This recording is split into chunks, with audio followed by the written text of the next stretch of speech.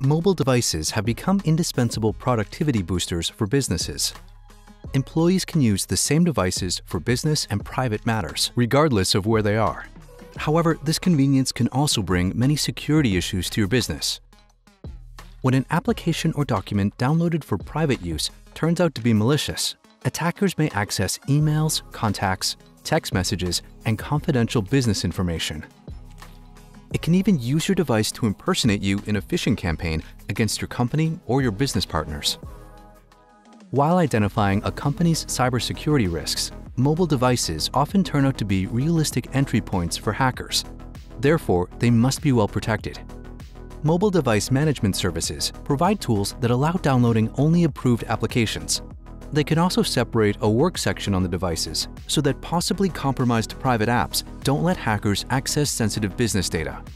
This enables everyone to use their phone or laptop for both work and private purposes regardless if the device is owned by the company or the employee, while your company is kept safe. Even if devices get lost, content can be remotely locked or wiped out, making sure sensitive data doesn't fall into the wrong hands.